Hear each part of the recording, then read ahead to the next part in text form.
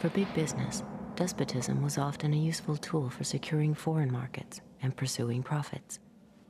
One of the U.S. Marine Corps' most highly decorated generals, Smedley Darlington Butler, by his own account, helped pacify Mexico for American oil companies, Haiti and Cuba for National City Bank, Nicaragua for the Brown Brothers Brokerage, the Dominican Republic for sugar interests, Honduras for U.S. fruit companies, and China for Standard Oil.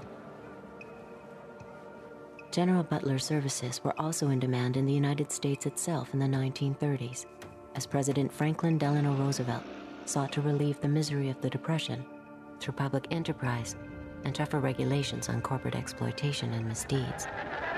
More power to you, President Roosevelt. The entire country's behind you, thrilled with hope and patriotism. But the country was not entirely behind the populist president. Large parts of the corporate elite despised what Roosevelt's New Deal stood for.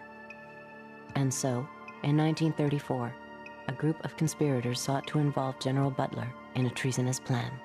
The plan as outlined to me was to form an organization of veterans, to use as a bluff or as a club at least, to intimidate the government.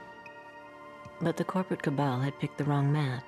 Butler was fed up with being what he called a gangster for capitalism.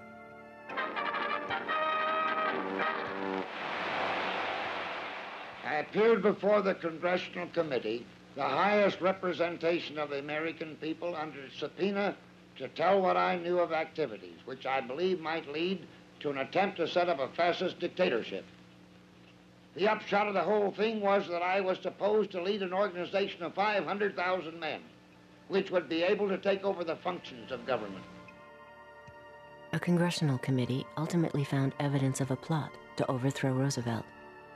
According to Butler, the conspiracy included representatives of some of America's top corporations, including J.P. Morgan, DuPont, and Goodyear Tire.